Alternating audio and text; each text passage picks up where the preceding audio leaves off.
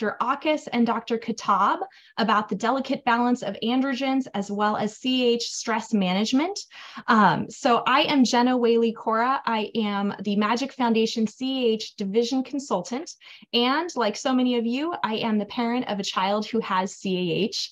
Um, before we go any further, I want to just tell you really quickly what Magic Foundation is all about. It is a nonprofit organization meant to support families and patients who have conditions related to growth. The mission statement is to reduce the emotional and physical trauma caused by growth disorders, resulting in healthier, happier children, and consequently adults. And the motto is children have a short time to grow and a lifetime to live with the results.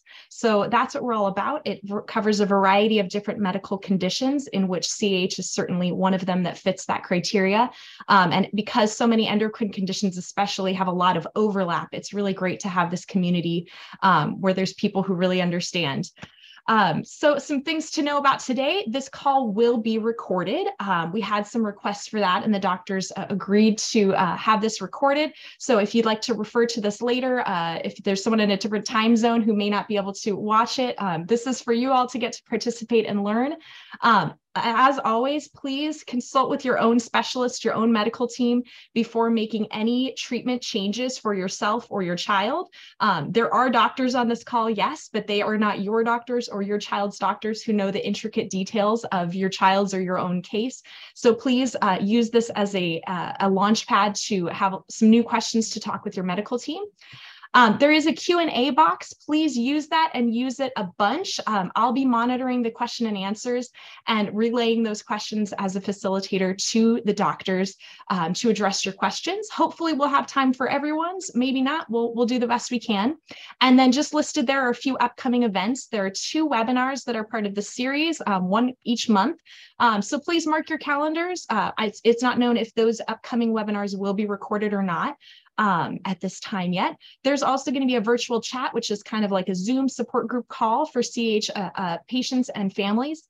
And that is going to be uh, sometime in April. We haven't decided that timing just yet. Um, and there's also the annual convention that's going to be in Illinois in the United States uh, this summer in July. Uh, it's my first time going. It should be really exciting. Uh, I can't tell you details just yet about it, but rest assured that a lot of planning is happening to make this a really exciting event and I'm very excited to uh, to attend that and meet a lot of you in person. So if that is in any way possible to make that trip and make that part of your family summer plans, please do so. It's going to be really exciting. Um, so without further ado, I would love to introduce for you um, Dr. Richard Auchus. He's going to tell us about the del delicate balance of androgens, and he is an adult endocrinologist who works out of the University of Chicago. So, uh, without further ado, take it away, Dr. Auchus.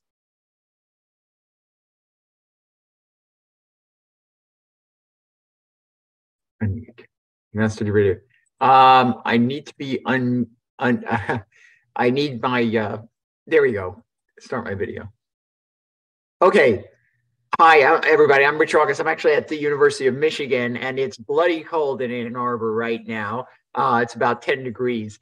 So uh, I hope everybody is safe and warm right now. Um, so I'm an adult endocrinologist. Um, and so I actually inherit the children after they become adults uh, from our pediatric endocrinology colleagues. Um, and now I think with, um, I'll just tell you a couple of impressions that I've gotten uh, over the years. One is that um, with newborn screening, uh, patients are picked up earlier. And because of that, um, they're treated uh, right away and they don't have a long time to deteriorate. Um, and so I think we're seeing actually a lot better outcomes in the 18, 20 year olds that I take care of now uh, than we did, say, 20 years ago when people were not picked up until after their bone age was far advanced and their height was severely compromised and some of the uh, androgen excess features had progressed. Now, Dr. Khattab can tell you all about the managing of the children, which is very difficult compared to what I do most of the time in adults.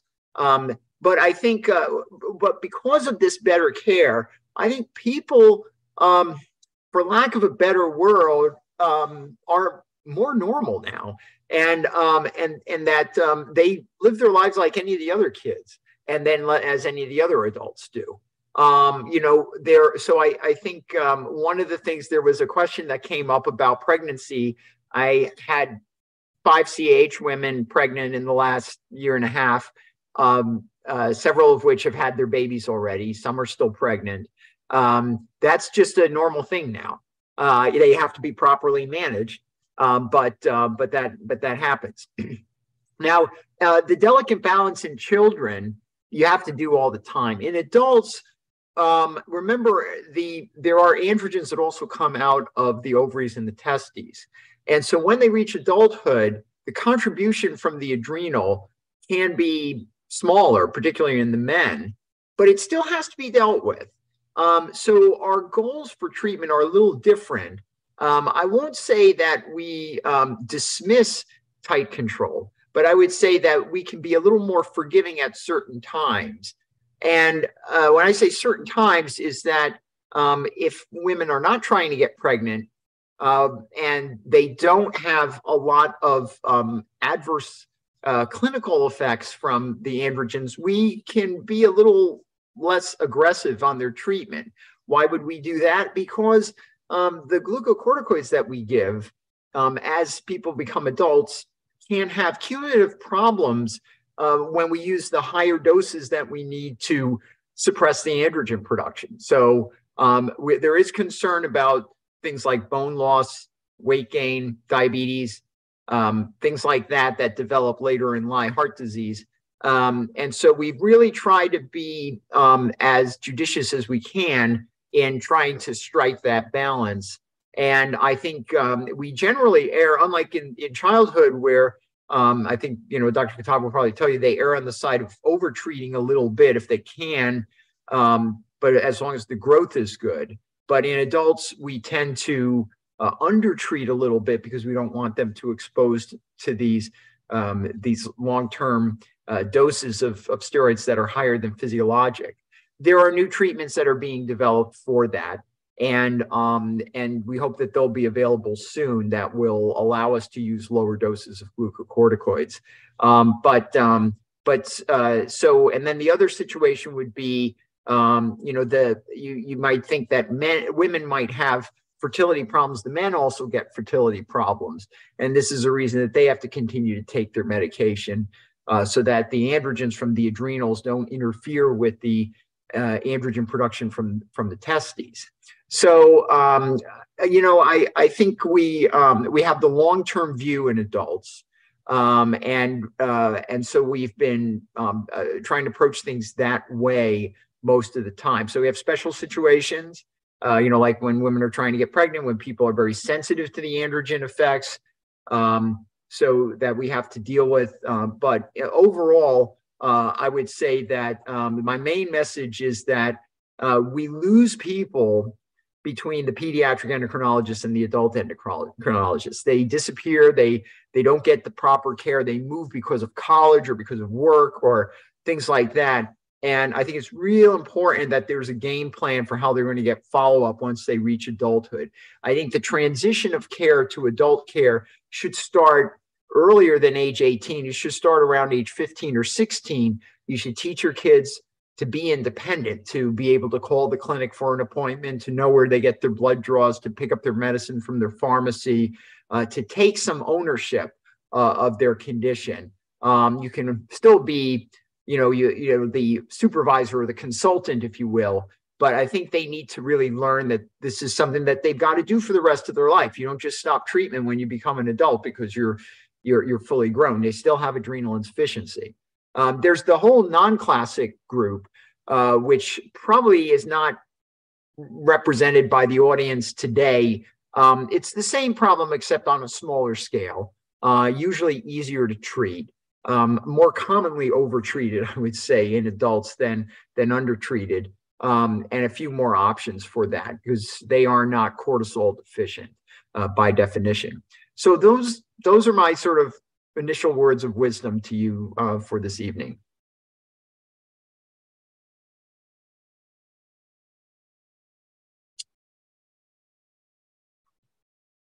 Okay.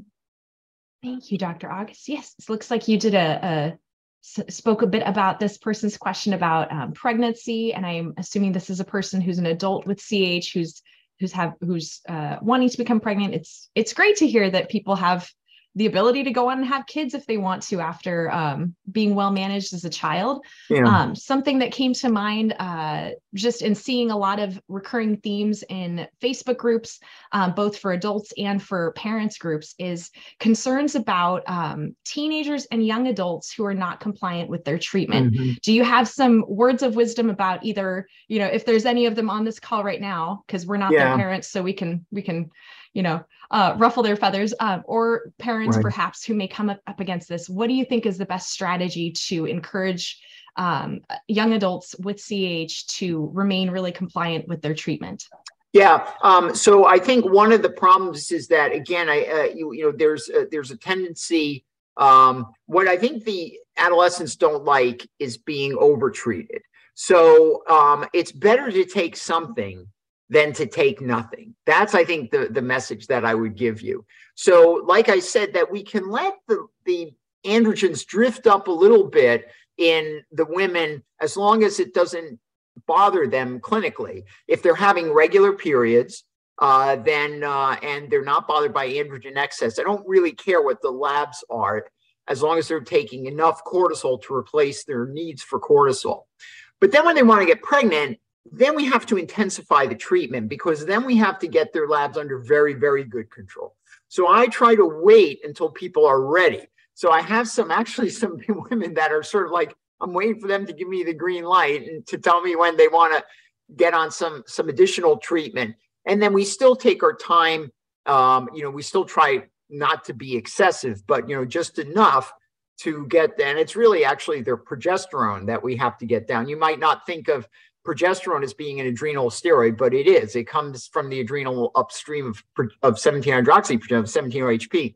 So that's the real biomarker we need to, to get down. And that can be very difficult. That can take um, multiple daily doses of medication, bedtime doses, and things like that. But you know, the, pre- the pregnancy rates in women who are trying to get pregnant, if they're properly managed, are the same as the general population. It's no different. Um, that was shown by the group in London that has cared for hundreds of women with CAH over the years. So um, now, if you're asking me for a good resource, there's been a couple review articles that I've read. I don't think there's many papers that talk about series of patients, although I probably could write one now that I've taken care of about six of them. Uh, but um, uh, you know, Ellen Seely at the Brigham in in Boston has managed a lot of these patients, and uh, myself and a few others. But um, there's some review articles that have been written in recent years. Um, there's there was just one that came out in Endocrine Reviews, and we're trying to get another one published now that Nicole Reisch wrote that section for. She's from Germany. Um, but uh, but I think um, the um, the review articles actually can you know they do talk about pregnancy in women. I think some of my papers have done that too. All right, we've got some more questions coming in, so I'm gonna I'm gonna jump to the question and answer box here. It says we talk about androgen suppression. Ooh, suppression. Um, how is that different for 3 beta CH? Can you speak about treatment specific differences for 3 beta? Well, um, for classic 3 beta HSD, which is very rare, um, it's pretty similar. Uh, and um, and they they tend to be very fragile because they they have severe salt wasting most of the time. Um, there is a literature about non classic 3 beta HSD. Actually, most of these people don't really have uh, a form of CAH. It's really sort of a functional disorder. Um, and we don't treat those people with, with uh, glucocorticoids. Um, but for the classic 3 beta HSD, it's pretty similar. It's also pretty similar for 11 beta HSD. Uh, sorry, for 11, 11 hydroxylase deficiency, because you know CH we commonly refer to is 21 hydroxylase deficiency. But there's also 3 beta HSD. There's also 11 hydroxylase deficiency, and uh, they're they're both pretty similar. Okay. And let's see if levels look normal, but my child is still small on percentile scales. Should I be worried? He's below 3%. Well, I'll, I'll let Dr. Khattab answer that. But basically, you want to see if he's tracking his growth curve. You know, if uh, if he's small but tracking, that's less concerning than if he's starting to cross growth curves and is, is actually falling. That's why it's very important to do those measurements.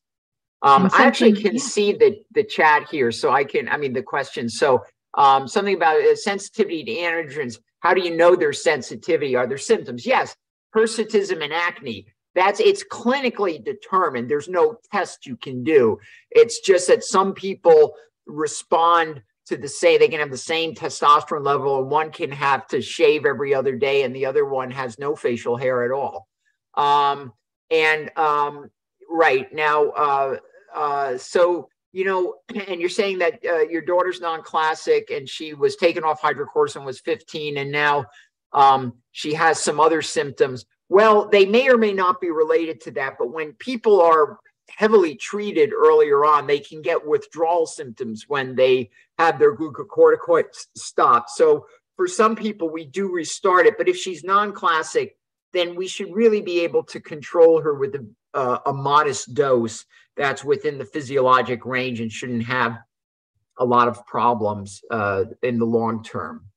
And, um, you know, okay, and now there's a question about simple virilizing non-classic. Okay, that's a not, okay, that terminology is not okay with me. Um, so there's classic and non-classic. And in the classics, they are cortisol deficient. And the ones who we call salt wasters are the ones who have really severe deficiency so that even their aldosterone is deficient. Um, you have to have almost zero enzyme activity to be aldosterone deficient. Um, but um, but but the classics have to be treated lifelong with glucocorticoid replace, replacement because they're cortisol deficient. The non-classics don't. We we don't always treat them. We never we don't even diagnose them most of the time. The the fludrocortisone is empirically determined by blood pressure and labs and and and by their potassium. So um so I think that's uh, you know I we don't there's no such thing as simple virilizing non-classical. It would be simple virilizing classic. Um, but I just like to separate them into classic and non-classic because the salt wasting is something we empirically determine. And yeah. Um, and then um, a part of that question is using an abbreviation we use all the time in the Facebook groups, but I don't know yeah. if you're necessarily familiar with it. It's um, we refer to CR as referring to circadian rhythm dosing, um, oh. or or perhaps I like to think of it as dosing a whole bunch, four times a day, five times a day, dosing yeah. more often, with most given in the morning. How do you? How is your opinion about that? Yeah, so I think actually I definitely favor circadian rhythm replacement. And but that you know you can really with hydrocortisone you can do that with two doses, one in the morning and one after lunch. And that pretty well re- replicates the circadian rhythm. As you may be aware, there's a company that's developing a, a modified release form that's really supposed to be truly closer to circadian rhythm and that's available in Europe and that those trials are being done in the United States now. But what we often have to do with the classic CAH patient, this is very important, is that just that circadian delivery is usually not enough to control the androgens. And so we have to give like an extra dose later in the day or a long acting glucocorticoid at bedtime uh, that uh, is, um, uh, you know, and, and that's really not, if you had just adrenal insufficiency, we wouldn't do that. And that's where a lot of the side effects come from and the, the growth suppression, the uh, insulin resistance, the weight gain, and, and poor sleep, a lot of things like that.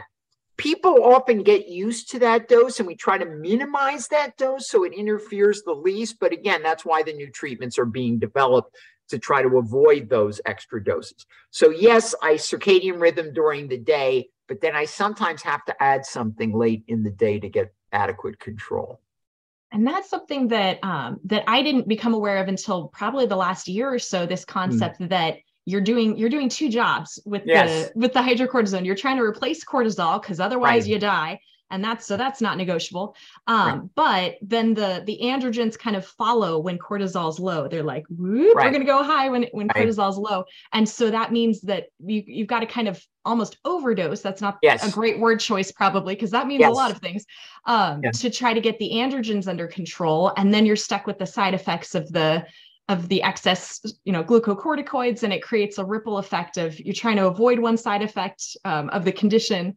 um, but then sometimes you replace it with side effects of a medication. So yeah, that's just something. Uh, perhaps some of the the viewers weren't aware of those those dual actions Right. that you're, you're giving your kids medicine or you're taking medicine to fulfill both those purposes. Yeah, and I mean, and that's the way it's been since the 1950s. I mean, we really haven't gotten any further. That hopefully we'll be we'll be having some new drugs soon. So, um, what else? yeah, Uh, we got some questions. Uh, one about bone age scans. How does that uh, how does that look for you treating adults? Um, what sort of impacts do you see from those bone age scans throughout childhood and different treatment trying to trying to get those that bone growth under control by adulthood? Right. So the children get bone ages, which is just an X-ray of the hand.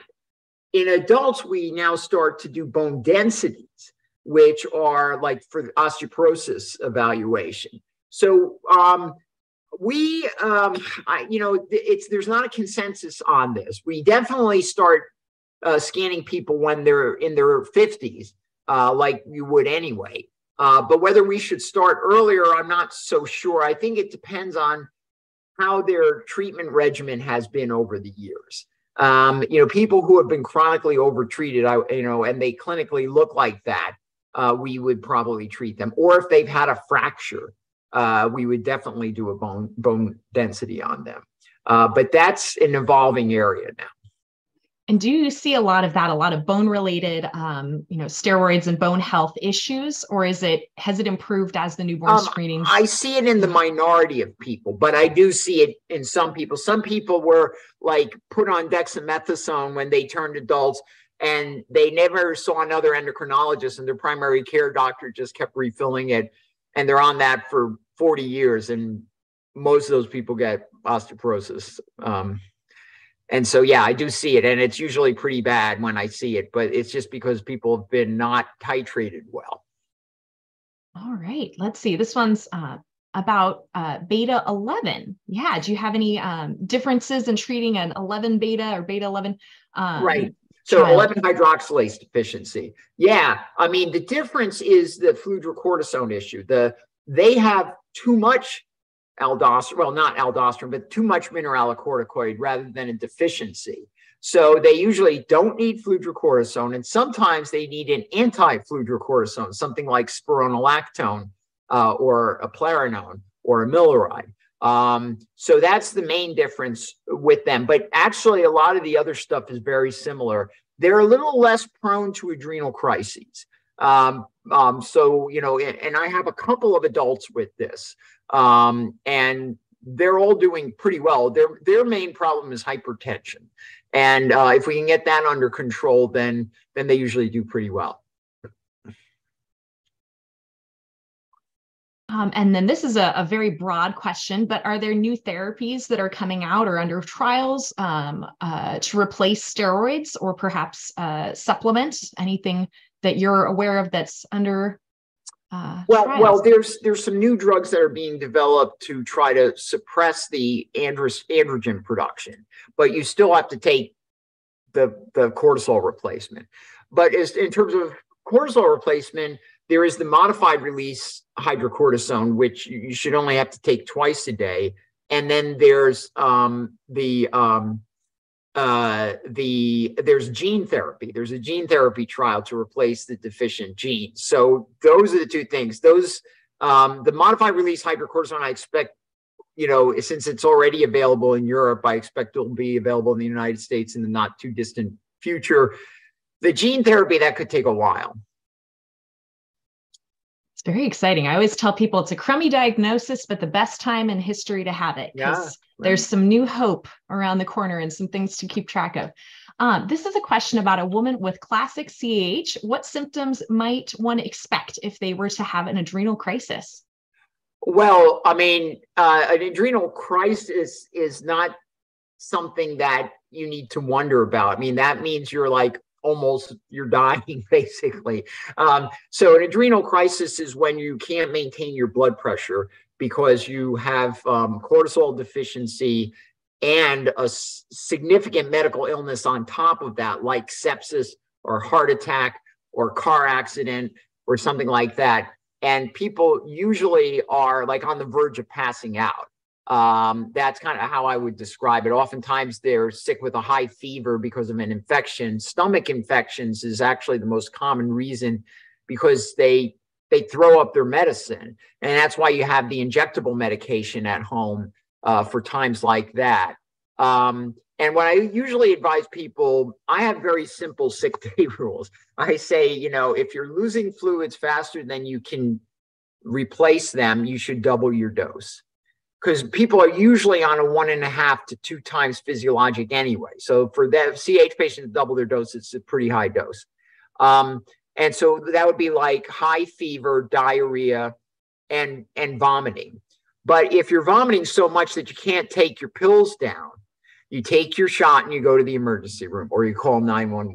There's no other alternative. Okay. If you can't take your pills, you got to take your shot and go to the emergency room. Yep, that's always emergency protocols are my soapbox topic. So I'm like, give that shot. You can do it. I gave it in a Chipotle patio once. You can do it. Right. Um, yes. yeah, yeah, not a medical professional. You just do what you got to do, and it works. It is yeah. incredibly effective medication. Right. So uh, yeah, you don't want to have to do it, but if you need to do it, do it. Right, but um, you don't yeah. stay home after you no. take your shot. Then you because you're going to need another dose. You're going to need fluids and so on. This will get you to the emergency room it won't uh, prevent you from going to the emergency room. But yeah, you're like you said is exactly true. Yeah. Uh, yeah. And for those with, if perhaps if any of you listening have little babies at home where you go, how will I know? It's annoying that I'm saying this, but you'll know. You'll just know. It's not, it's not yeah. subtle. It's not just like, oh, they're tired. No, they look terrible. They're usually throwing up. Their, their eyes are kind of rolling around. They look intoxicated and it just yeah. seems very out of character you'll know. So trust your guts there and give that shot and go to the hospital. Um, genetic testing. Uh, someone had their child come back with one deletion and one mutation. What does that mean? Um, nothing really. Uh, you know, it's just uh, I think we just keep track of those things. But you know, you know from the the, the labs already that they have classic 21 hydroxylase deficiency. There's a lot of different mutations and deletions that can cause that and they just like to characterize which ones they are so they know. Um, it doesn't really mean anything substantial beyond that. All right, I'm going to skip a few questions that might be more geared towards our next speaker because um, there's uh, one about bone age for a child and one about dosing and um, and growth. We'll get back to those. I'm not ignoring you. Um, is there a timing for an anti-androgen drug to lower the steroid uh, yeah, dose? We, yeah, we actually did a study where we used abiraterone uh, acetate, which is uh, which actually used to treat prostate cancer, and it it actually inhibits androgen synthesis. And now there are, you know, the non-classics do that all the time. The non-classic patients will use uh, bicalutamide or um, or uh, spironolactone uh, as an, you know, so that they don't have to take glucocorticoids. So we do that in the non-classics a lot. Um, I think with the classics, we um, uh, that it probably would work too. Um, but and but I don't know a lot of classics using it. I think the medications that we're working on now that are in the clinical trials now are probably uh, going to have a, a, a, greater overall benefit. Um, and, and that's, and I say that because like for the women, if you block the androgen action, you're still going to be making too much progesterone and you're going to have irregular periods and so on. Uh, but yeah, sure, it's a valid, valid idea yeah there's definitely things on, under trials to try to figure out those you know how do we put these different ideas together and have just better treatment outcomes all, all along. There's two questions that are very similar so i'm going to kind of join them together. One is are there any supplements you suggest to support ch treatment?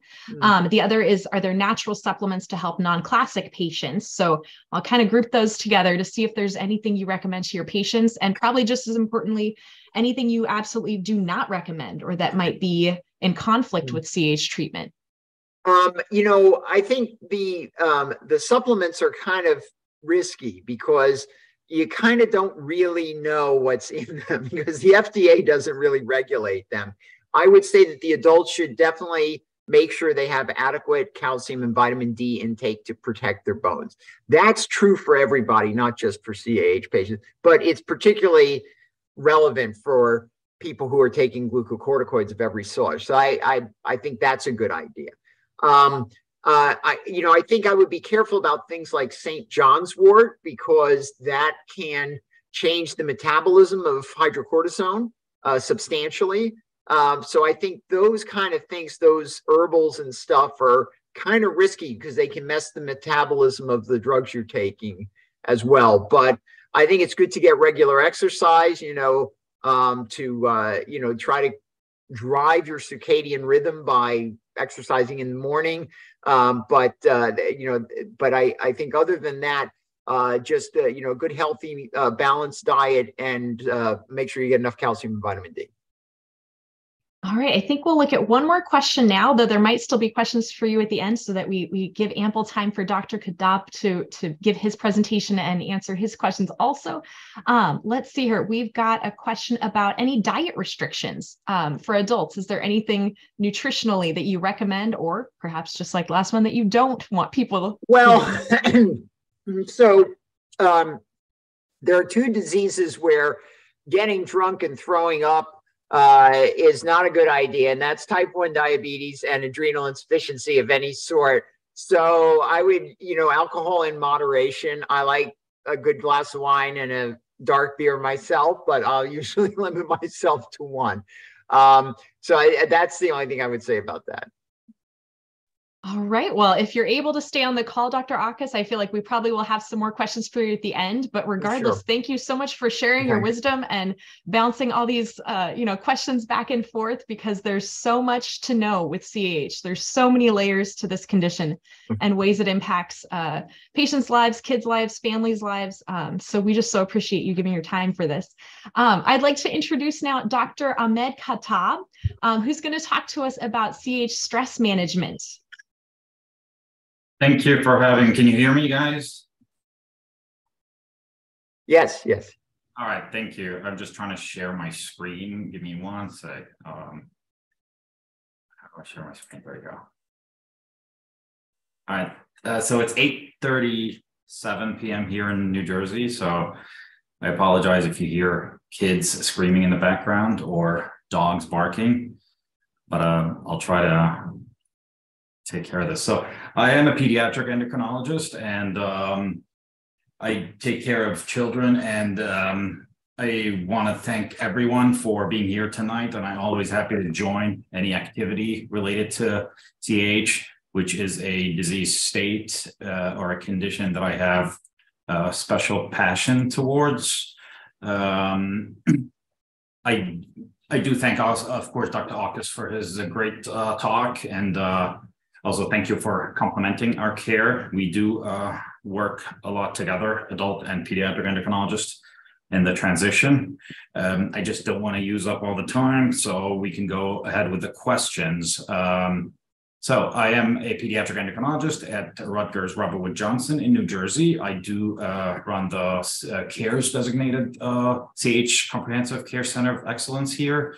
And uh, we do have adult and pediatric uh, endocrinology care. So I'm going to talk about um, stress management or stress dosing in CH. And before I jump into that, um, I just um, want to you know describe exactly what happens in CH. So what, we, what happens in CAH, and you guys are probably you sound very savvy from the questions, but this is really basic, and we want to make sure we understand this if we have CH, someone with CH makes very little cortisol, and that t- triggers the adrenal gland to make more of the male hormone or the androgens through the ACTH, um, the pituitary ACTH. So the bottom line for ACTH is really a lot of androgens and little um, um, cortisol.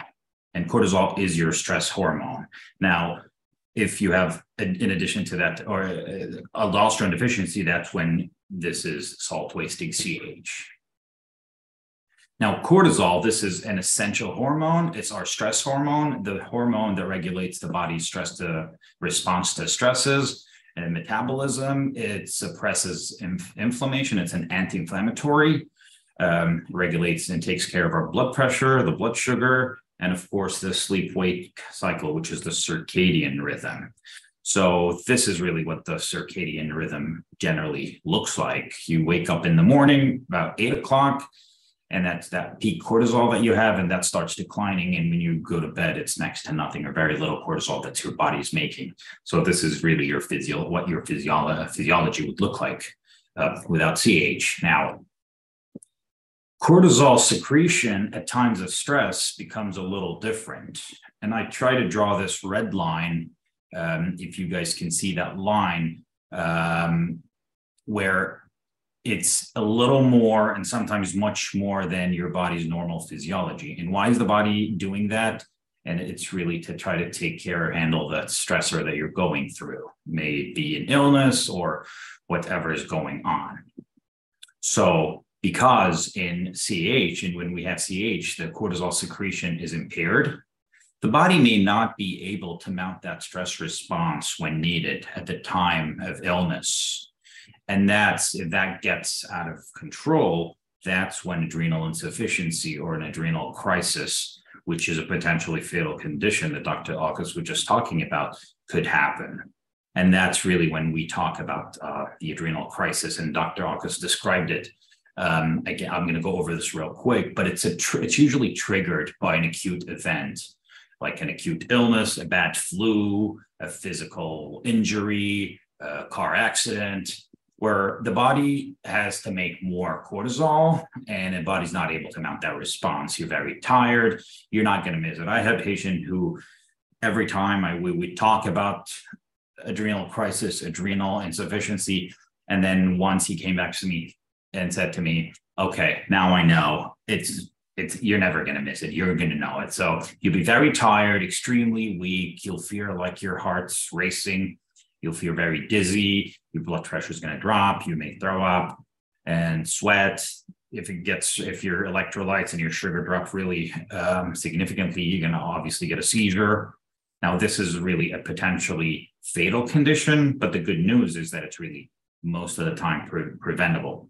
So, because it's for preventable, the goal here is to early uh, recognize this early on and intervene, especially in children with uh, illnesses or during the time of illness or stresses.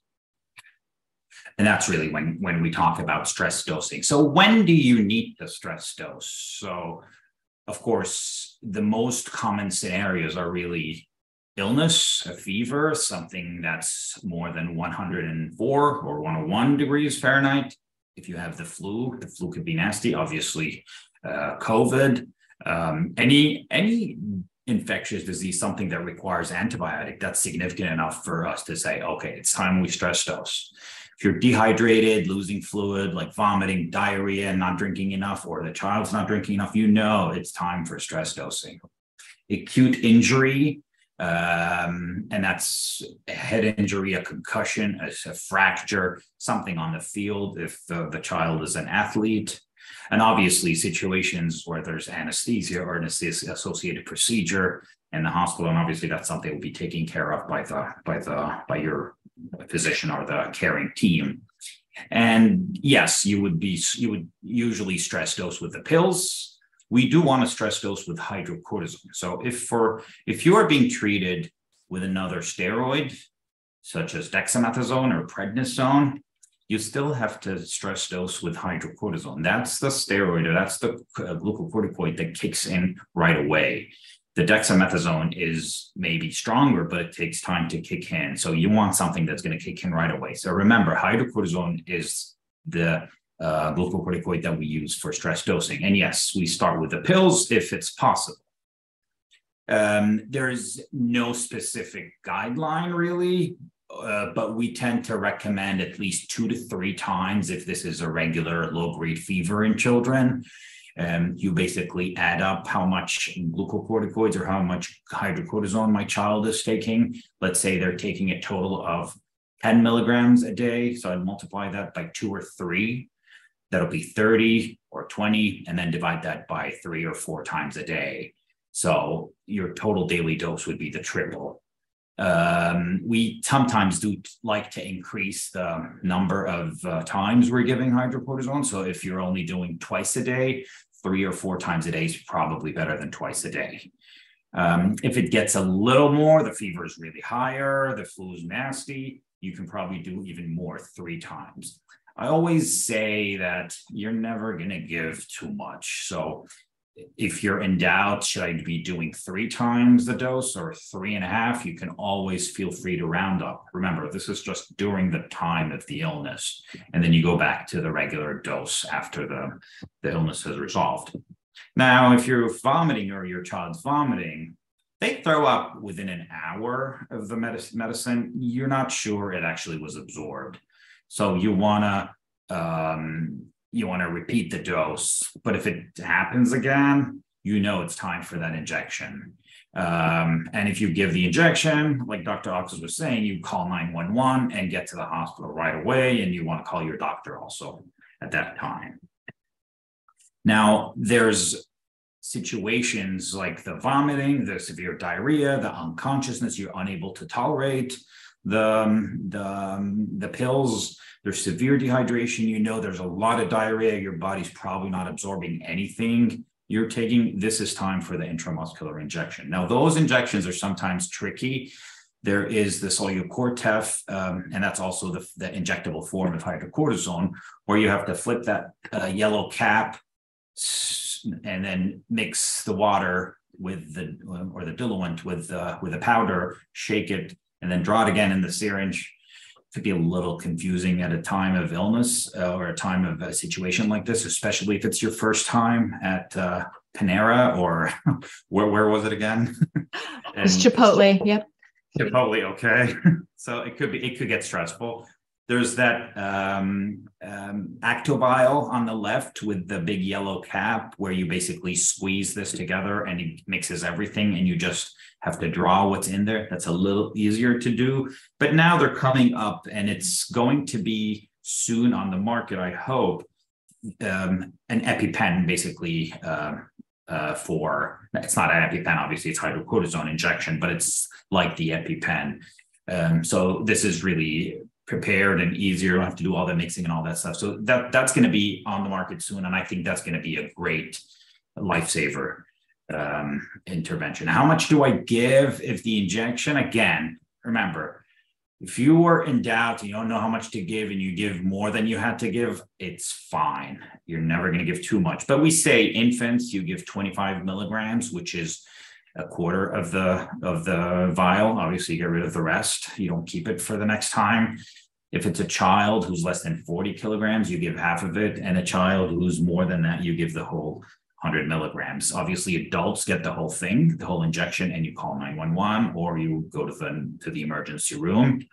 But again, I don't want you to weigh the child and worry about this. But, anyways, infants, preschooler, quarter, 25 milligrams, school age children, 50, adults, 100.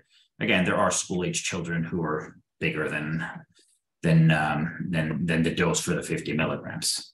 Again, you cannot give too much, so do not worry about I gave a little more than I should have.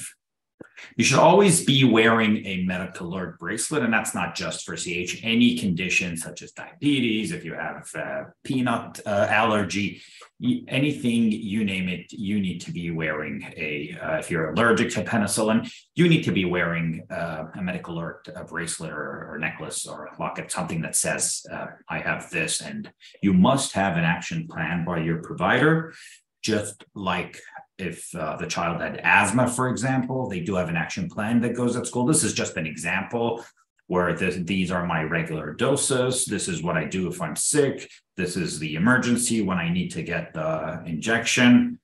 And those action plans are usually given by the by the by your regular uh, by the pediatrician to the school or uh, or by, or sorry by endocrinologist to the school, and the pediatrician should have a copy and and so on. So just and I know I get this question all the time. What are what are situations that we don't really need to stress dose or where stress dosing is not required? Well, basically they have a gym class and they're a little upset, a little worried that they have a test tomorrow. That's a stress, of course, but you don't need to stress dose for that, right? Um, my kid is going for the shots. He's going to get a small, a little fever. No, just a little runny nose, just a regular cold that all the kids get. no, you don't need to stress dose for for those regular, or else we'll be stressing those kids every single day, right? It really needs to be something that you need to call your doctor about. And I think that's really what it is for today. I'm happy to hear your questions. I hope it was not too uh, long that was really informative and it, informative. it helped. Oops, there's my, there's my, my audio is doing an echo over there. Um, so yeah, we have some follow-up questions uh, related to giving the shot. Um, now I have experience giving the shot a few times with my child. And so I'm so glad you said giving too much is not a problem because we had a horror story day where they gave a hundred milligram vial to my then toddler and all of us panicked and it was fine. It's not ideal. Don't do it on purpose but it was fine. She was stable very quickly. The day ended fine. Um, but yes, just book it there, get the medicine in, and whatever way it'll stay in. And um, but somebody's asking what sort of instructions should be given once you're at the hospital. And um, I'll I'll comment that the hospitals often don't have a clue what to do, which is not the most exciting thing to experience. Um, what sort of advice do you have for parents or patients um, or relatives of, of adult patients who might be advocating for a CH patient in the hospital? So, in all fairness, this is a rare condition. So, you don't expect uh, emergency room physicians um, to be, you know, fully aware of all um, management and moving on.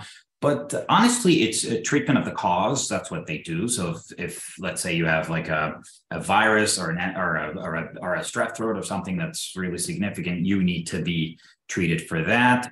Um, the hydration is very important. Checking the Electrolytes is very important. Maintaining the blood sugar is very important. Most of the times, the emergency room physicians should be able to take care of that. In terms of um, continuing stress dosing and what do I do after the first 100 milligrams that I just got, that should be really discussed on case to case basis with your endocrinologist, or if there's an endocrinologist at the hospital that takes care of, um, of, of, of patients I get calls from all around um, emergency rooms, even out of state, and saying, okay, we have your patient here. This is what happened. They got the cortisol. They wanted us to call you. What should we do? And then we talk. So usually there should be communication with an endocrinologist before getting the um, the discharge. That's great. And yeah, I've I've done that where I call my daughter's endocrinologist and I will just pass the phone to the ER doctor whether they want it or not. That happens. Um, that there's happens. a lot of respect between doctors. So if they won't listen to me, hopefully they'll listen to the doctors and they do. They do. Um, yeah, it's so rare that uh, yeah, something I realized was that ER doctors are trained to diagnose then treat and that's a very right reasonable order um, but we're coming in with multiple levels. So we already have the CH side diagnosed. We've got to treat that mm-hmm. first. And then once that's stable, you can get to the underlying cause. And that can all happen in 15 minutes. So, you know, give the shot, connect an IV. Now, what's causing this shenanigans? You know, you can kind of, um, if you frame uh, it like I that. I can think I can see some of the questions. I just don't want to jump in the middle. For, yeah. We've got some questions about growth um, that that were uh, very similar here. We've got a question from Samantha and from Candace that are both asking about their children who are below the third percentile. So, so yeah, so below the, so we worry in children or, or, or growing children with CH about rapid growth, honestly. So one thing is if I have a rapid growth curve, like a steep uh, spike, then I worry about the adrenal control. Now, that doesn't mean I'm happy to have uh, the child not grow. Uh, they should be growing, like Dr. Auchus was saying, on their percentile, but growth in itself is a big um, evaluation. It's not just a one word, yes, they, it's okay. I mean, they could be a late bloomer remember. They could be um, they could have a growth problem. It's it's it's it does happen you could have a growth problem with ch two things can happen at the same time. But um, the most important evaluate single thing to do for a child to evaluate their growth is to really keep plotting them on the curve and check their growth velocity. If this is a concern then obviously there needs to be a little more work but um, but um, it's not part of the um, uh, part of the CAH under control. It could be part of the excessive glucocorticoid use, although you need to be giving a lot of cortisol to suppress growth in um, like a lot, a lot to be suppressing growth. But a child in general, just a, just generally speak, child growing on the same percentile, they could be just growing appropriate for the family. They could be just a late bloomer. There's there's a ton of things. So it needs the picture needs to be taken and um, and and and, and you know and not just one. And then there's another question: Should you stress dose for a dental procedure, such as if there's anesthesia, such as a filling cavity or wisdom teeth? Uh, if there's anesthesia, yes. If it's just the cavity and it's just the local, no. Again, they you can just take an extra pill that that morning, and it's going to stay in your system for six hours. Handle that stress. It's it's fine. Yeah, this uh, question about, about, roller coasters is very interesting to me. Uh, we've had some scenarios with that, but I'd love to know your experience and if you've seen issues with other things that don't quite fit that stress dosing protocol, but where families and patients have noticed that they've they've got a, a need for extra medicine. So uh, I have never seen a concern with uh, the adrenaline rush or CH children are, are normal children and they should go to all the parks that you know any other kid. So if it's not okay for a child to be on a ride then it's not okay for this child whether he has ch or not in general. So um, yes theme parks are safe. Obviously they have to be age appropriate. Now is this if your child is sick can that make it worse of course that's a different story but assuming that you're saying we're in a theme park he's totally fine yes he should be able to go, go on a ride. And of course, you know, you're stressed out. Those rides usually should be, uh, you know, the adrenaline rush. I mean, if, if you're, if a child with CH gets something happens to a child with CH on a ride, then a lot is going to happen to other kids without CH on the same ride. Can you have a second crisis after injection? Well, if um, if if you did not give enough injection, or if you give injection, then it, you know, it's out of the system, then if, and your body still needs. So that's why we maintain uh, stress dosing and hydration. If you don't treat the cause and you don't give hydrocortisone continuously, then yes, it can happen again. My non-classical CH daughter very frequently experiences stomach pains and leg pains after stressful events in her life. She's also diagnosed with anxiety and ADHD. Should we avoid bump dosing under these circumstances when the source of the stress appears to be psychological? Yes. Yeah. My son ended up with vomiting and a trip to the ER following a couple of competitive soccer games. And during tournament in high heat, we thought he was well hydrated. What should we do to prevent this form of happening? Well, um, I've had marathon runners, and sometimes if you know this is an excessively hot day and my child does not do well, and all the I mean, it's other kids also can pass out at that time. You can probably give a little more steroids before or hydrocortisone before that that game.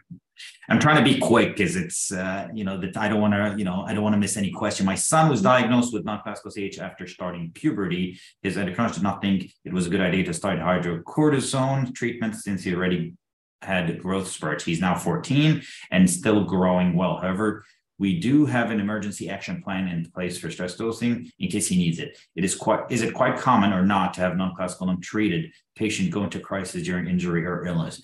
It's very unlikely, honestly. If they're not treated, it's very unlikely.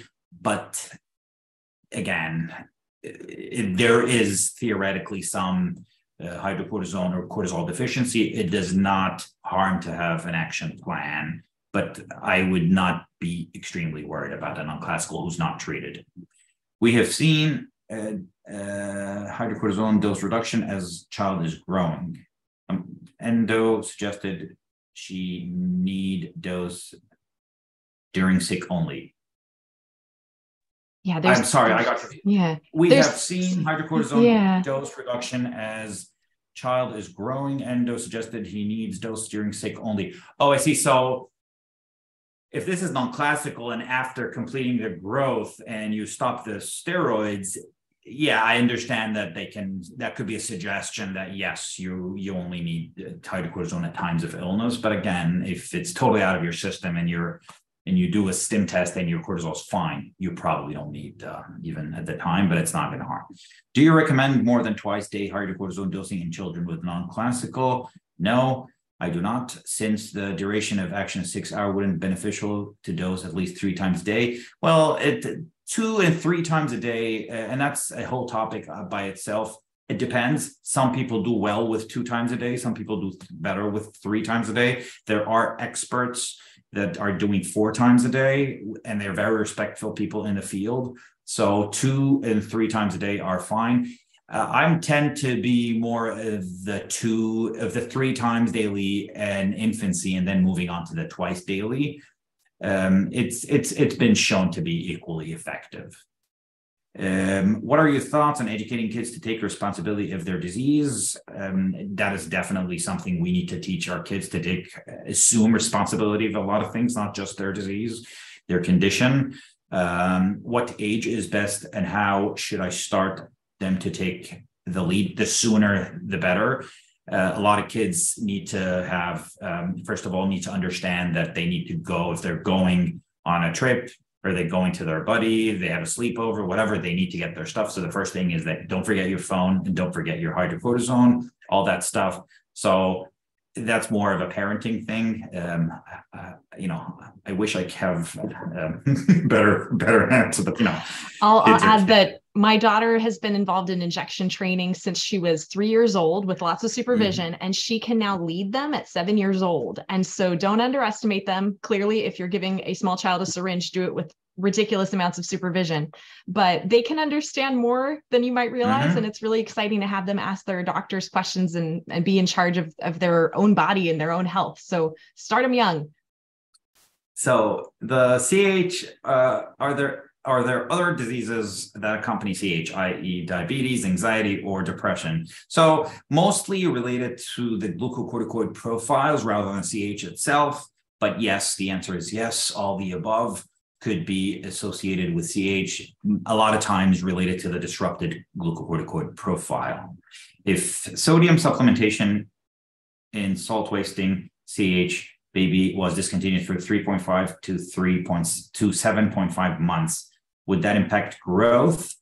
Um, it could impact growth on the short term, but a child who's 7.5 months can always catch up. So um, a lot of times it's it's hard to tell. As long as their sodium is fine, then yes. Um, um, children with with the salt wasting CH should be on their salt uh, supplementation, but it's it's more of a dangerous in the acute stage. But in terms of their growth, there's a ton of time to catch up.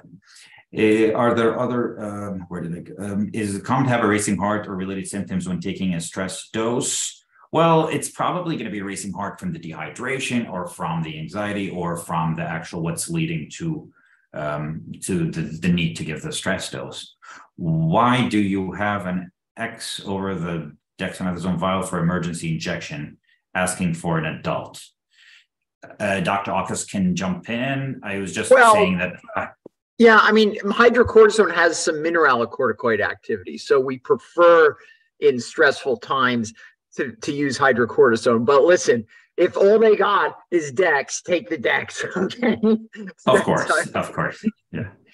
So, what do you recommend dosing 4 a.m. to suppress androgens? My son is waking up 5 a.m. and very tired. Well, it's um.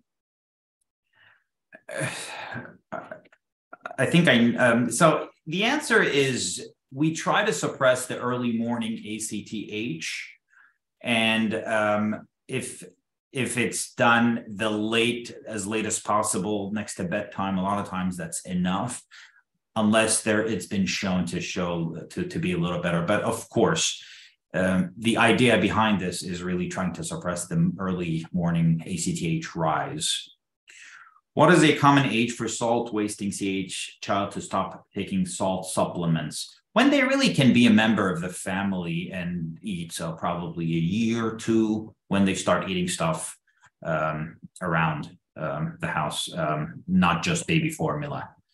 Um, I have another genetic question, if that's okay. Yes, it's okay. This might be an old, an odd question. My husband and I are trying to get genetic testing still. I have a lot of non-classic symptoms. Can non-classic women give birth to a salt wasting child? The answer is yes uh, because there could be a um, it's a you know it's there's two mutations um, you have to have two mutations one that came from the parent, the father, one came from the mother. So if both mutations are those severe mutations or salt wasting mutations, then yes, the combination would.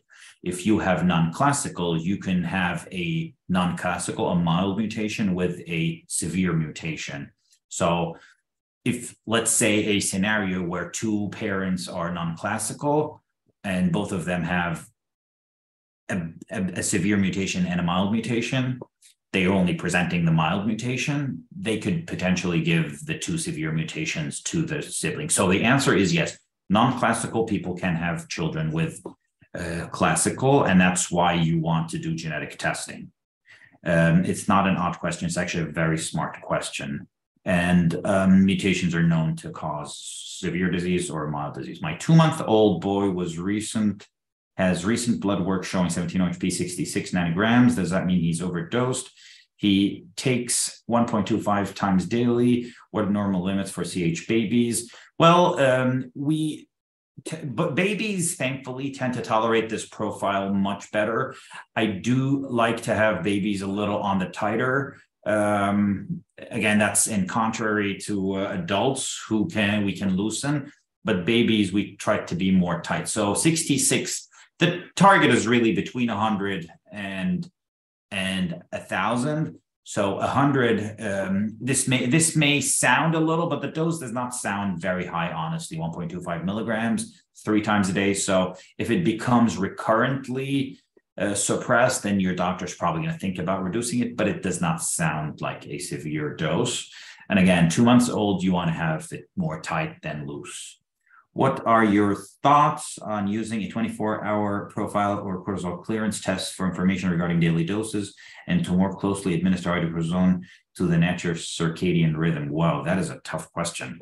So it is, there's no standards for us to know uh, if this is really so everyone's those are all when we say maintenance or physiological is six milligrams per meter squared or eight milligrams or nine or ten everyone's different. Everyone's sensitivity to cortisol is different. My i could be making 10 milligrams or 10 micrograms of cortisol at stress because that's all my body needs and someone else could be making 20 or someone else. So it cannot be extremely objective unfortunately. And um but yeah there are there's a lot of thought about trying to you know to make it more um of a circadian rhythm. My hope is with new medications that are coming on soon is that they shut off a lot of ACTH, hoping to be only supplementing cortisol in a uh, rather physiological dosing rather than uh, super physiological. My 19 month old salt wasting CH daughter is taking a salt supplement. Her labs always come back in good range, but her endo is saying salt supplements will be taken until the age of four. True. Well, if she starts eating with the diet, you can probably get away with, um, you know, sooner than four. Um, again, if they do the test and and the salt is fine or the salt is high, then you know, then okay, maybe maybe she doesn't need all that salt. Um, Oh my God, that was that was quick. I got off through all the questions, right? Did we, did, we did we miss any a, questions? There were a few it's hard to go back. So yeah. Someone... I tried to to click the it was answered live. We're done with that one to try to clean up the the section okay, a little. So let me know I if there's something we yeah. missed here. This is one that comes up often in social media group questions. Um, are there uh, times when a person who is a known like they're a carrier, their ch- child has CH, um, are there times where carriers can be symptomatic slightly? Yes, we know that carriers do have a um, a profile that is not the normal um, reference range profile. So they do have 17 hydroxyprogesterone levels that are higher than normal. They do have um, uh, androstenedione levels that are higher than normal. However, it's not a range that needs treatment. So yes carriers we've seen that in the past. They had they they could have symptoms but it's not a, a, a, a thing that needs treatment All right, let me see if there's uh, there's a question um, way up above it that was given at 529, or excuse me, whatever on the hour 29. We're in different time zones. Um, okay. About headaches and migraines. Um, that's something that I recall many adults with uh, CAH have said that as their next dose is due, they often will have this lovely headache as a reminder that it's time to take their meds soon. Um, is there anything you might recommend for people that get nausea and migraines um, and might need some extra hydrocortisone for that? So I'm not the migraine expert, but migraines can be triggered by a lot of things, including dehydration or uh, diet or uh, or uh, there's a ton of things that trigger you. This could be a trigger for your migraine. It's a sense that your body now. Um, I don't know if Dr. Auchus has uh, something. Well, yeah. I mean, I'll say two things. One is that you should be careful using the word migraine. Migraine is a very specific type of headache that's due to vasoconstriction, not just uh, feeling kind of dizzy or uh, um, or, or pain even. Uh, so be careful about that. Um, but you know, glucocorticoid withdrawal can cause headache. So if people are taking high doses when they get to the edge of that dose, they can sense a withdrawal of that because remember, glucocorticoids are anti-inflammatory, and so that inflammation tends to uh, come back a- after that. But m- true migraines, it's actually the opposite that I'm worried about. I'm worried if someone really has migraines that oftentimes they vomit and that precipitates an adrenal crisis. So I'm, and if they do have migraines, they should be getting treatment for the migraines, okay? Because there are very effective treatments for my for aborting migraines, and then there are treatments that people use for preventing migraines. So I would be more cautious the other way around. Um, let's see, there's a question here about glucocorticoid therapy compared to pump therapy. I know this isn't uh, super oh, common in the US, so, but. So it's been it's only been in the NIH uh, trials the pump therapy for hydrocortisone. So hydrocortisone can be given subcutaneous. Now pump therapy in itself is uh, sometimes a little um, unwelcome by a lot of people. For example, type one diabetes. A lot of people do not want to have hardware on their body it's probably it's not been it's been not been used in clinical practice but it's the theoretical thought behind it is giving cortisol trying to mimic the body's physiology. And the, the only drawback is then people say why do i have to put a machine on my body and deal with a lot of software if all i have to do is take two pills a day one in the morning one at night? So but yes theoretically speaking it could it, it could try to mimic physiology is there a relationship? Yeah. yeah. go ahead. Yeah, between is there a relationship yeah. between androgen and androstenedione? If any, yes. Androstenedione is an androgen that comes from. There's a ratio between testosterone and androstenedione that tells us that um, oh, this is um, this is coming from the adrenal gland or from the from the testes, for example. So yes, and androstenedione is an androgen, if any. Um, are there special considerations for non-classical who suffer from additional endocrine disorders? My daughter has both non-classical CH and Hashimoto's disease. Can they be thought to be as two separate issues? Does one interplay? So Hashimoto's is an autoimmune condition and non-classical CH is a genetic condition. So there, it's just a coincidence.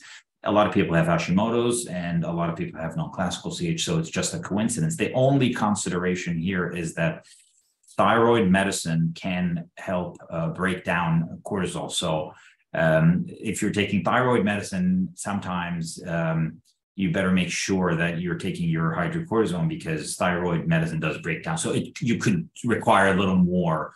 Or if you forget to take your um, hydrocortisone, your thyroid, and you're taking your thyroid medicine, that can make things worse. Just, just a, just a thought in the background. Will dosage come? Uh, down as child grow. Usually not, it actually goes up. The dose that sometimes can go down is the Florinef dose, the, the mineralocorticoid dose. Um, our endo, um, what are your thoughts on clinical trials to reduce dose with new CRF drugs? I think I think it's it's a um, it's still in trial, obviously, but I think it's a promising horizon. Um, yeah, there's a question up above about non-classic, and I'll kind of broaden it a little bit more because there's often questions about the different treatment Okay. approaches for non-classic versus classic, because sometimes treatment's started right away, sometimes it's a wait and see approach, sometimes it's just monitoring and they never have treatment. Um, can you speak a little bit about those different approaches and and how endocrinologists kind of make those decisions about how to treat a non-classic patient? So a non-classic patient, um, again, it depends on the threshold and it's sometimes subjective, but if there's a reason to treat a non-classic patient, for example, fertility in an adult, and Dr. Auchus can add on that. For example, in children, early puberty, early significant advancement in the bone age that can, you know, compromise the adult height There are situations when you want to treat children with non-classical um, CAH, and there are situations where you just do not treat there are a lot of people out there with non-classical CH who do not know they have it and they've never had any symptoms. So it's a spectrum. So yes, treatment could be based on symptoms. Uh, I'm lost now. You tell me where, where this. I was trying to clear them as I went. Um, what sort of alarm bells about growth might trigger uh, a, a response? Like where, when you see growth in either spectrum, too too slow growth or too fast, um, what what happens next from the endocrinology perspective? Well, rapid growth should be correlated with uh, androgen levels and bone age uh, in growing children. Slow growth should be uh, also correlated with androgen levels and degree of suppression and weight. So it's not just the growth. Other things come with, if you're over treating, it's not just the growth that's going to be affected. There's other stuff that's going to be affected. And if you're under treating, it's not just the growth that's going to show up. There's other stuff. So it's a sign of under or over treatment um, growth, the alarm bells. If it's a, so, so your alarm bell is being associated with, for example, weight gain when your growth is slowing down. That's a big one.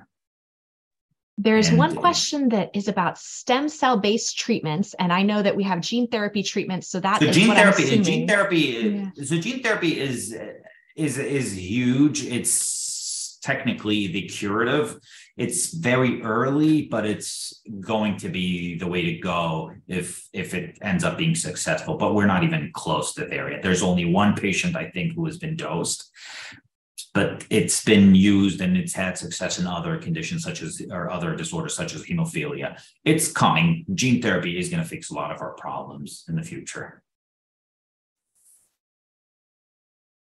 Let's see. There's a question about androstenedione. Um, should that be part of standard uh, classic infant lab work? Yes.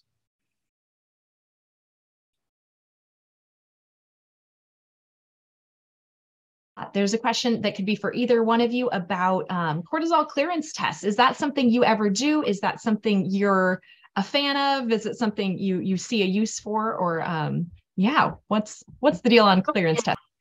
I don't do I don't do cortisol clearance tests. I, I, I know there's there's more um, there's more of the picture, uh, the clinical picture, and the androgens that I look at rather than just um. Again, we don't like to give the glucocorticoids we're giving, but we're giving those glucocorticoids for the reason, and that's really about keeping the balance. Um, again, we try to give a little more in childhood and give a little less in adulthood, but it's about keeping the balance, like keeping the balance in anything else. Do you agree, Dr. Auchus? Uh, yes, definitely. And, you know, I mean, it's just not practical. You can't really do it. Like I, you can't get the insurance to pay for it. It's done as a research study, um, at a few places, but, um, but maybe someday if we can do it in saliva, we might be able to do it at home. Um, I do the poor man's cortisol clearance, which is I tell people to take their dose, you know, and then I just get a level, a cortisol level before their next dose. And then I kind of infer whether they're getting enough exposure. And if I want to know if they're absorbing it, I get it two hours after their dose. I can get a peak and I can get a trough. That's about all I can do. And that usually tells me what I need to know when I'm confused. Okay, yeah, there's a lot of chatter in the Facebook groups always about how quickly people metabolize their medications and how how dosing decisions do or don't get made based on that. So there's there's a lot of chatter that uh, you guys may not know happens behind the scenes here. Um, so let's see. Can a lack of sufficient salt supplements or high renin suppress growth in toddlers? Oh yes.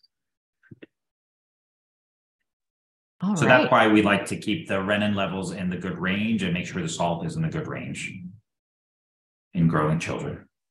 I think we answered the question Yeah. about other disease accompanied by CH Yeah. uh, company. Yeah.